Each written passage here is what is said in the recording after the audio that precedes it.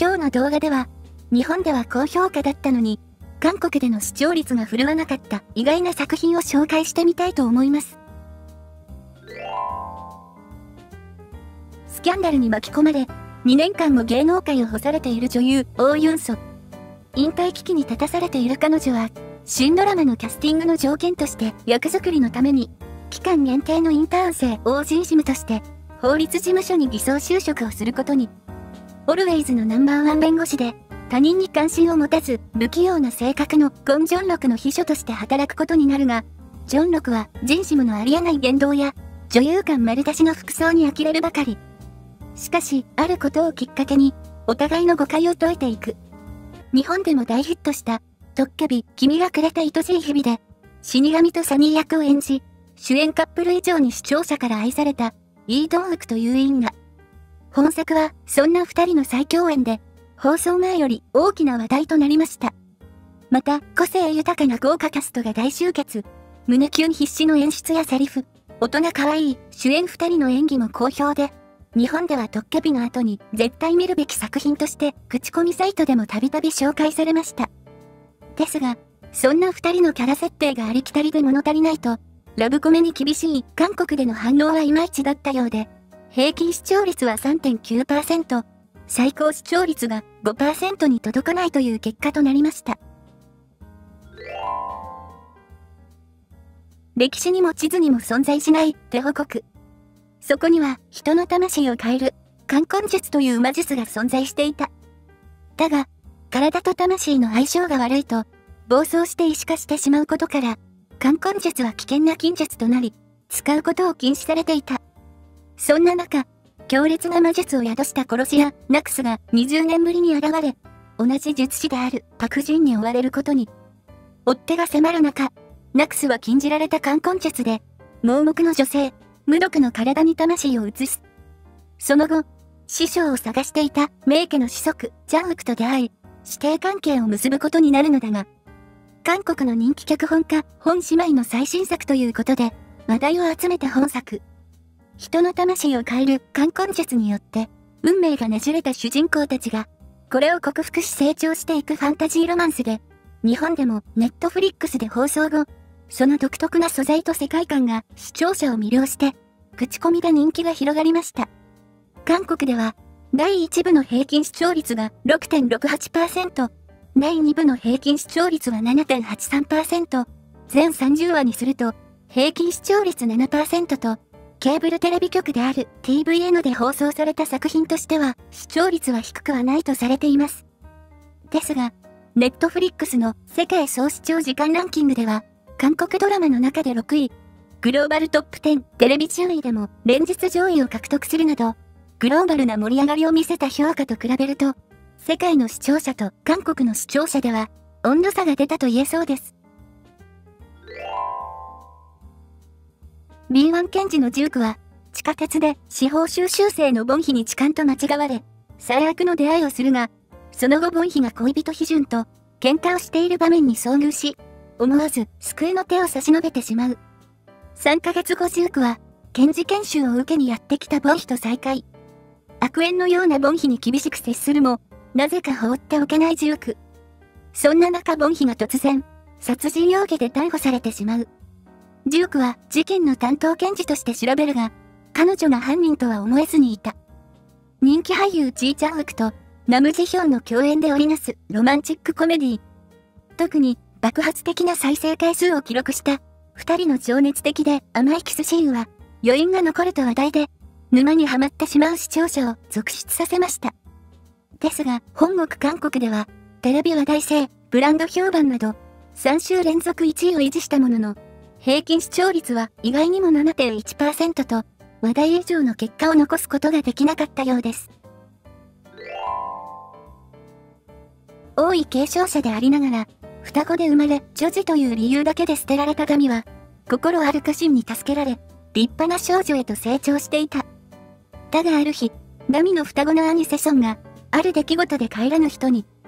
混乱を防ぐために母である皇后は、ダミを宮廷へと呼び戻し、兄の代わりにセチャとして生きる決意をさせる。自分の正体や秘めた恋心を誰にも明かせないまま、生きていかなければならないという運命を背負ったダミは、セジャ・イーフィとして波乱の人生を歩んでいくことに、主演のパク・ウンビンとロウンが織りなす、心ときめく宮廷ロマンスで、ネットフリックスで配信されると、優雅な世界観に魅了されたと世界中で話題となり、10カ国以上で1位を獲得。また、韓国ドラマで初めて、国際エミー賞でテレノベラ部門を受賞するなど、世界的に高い評価を受けました。ですが韓国では、放送から第3話までは視聴率6%台と好調な滑り出しを見せるも、第6話では5%にまで落ち込み、最低視聴率を更新しています。視聴率下落の原因として、俳優たちのぎこちない演技、脚本や演出もあまり良くないなど、厳しい反応が見られ、平均視聴率10%前後と、意外な結果となりました。地味で冴えない容姿を理由にいじめられていたジュギョンは、人生に嫌気がさし、ビルの屋上から飛び降りようとするが、どうにか思いとどまる。しかし同じ頃、ビルの屋上へやってきた祖母は、ジュギョンが死のうとしていると勘違いして、思いとどまるよう説得する。その後、家庭の事情で転校することになったジュギョンは、メイクの力で人生を変えようとする。原作のウェブ漫画は、日本、タイ、台湾、インドネシアなどの国でも連載され、常にランキング上位をキープした超人気作。ビジュアルの期待値の高さから実写化不可能と言われていた作品ですが、チャウヌ、ムンガヨン、ファインオプなど、漫画からそのまま飛び出してきたような見事なキャスティングで好評を得ました。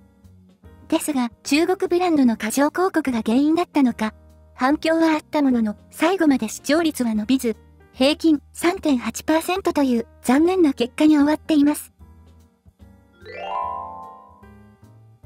親友と恋人に裏切られて失意のどん底にいた化粧品販売員の候補人は公園で池に落ちた子供を助けようとして溺れてしまう。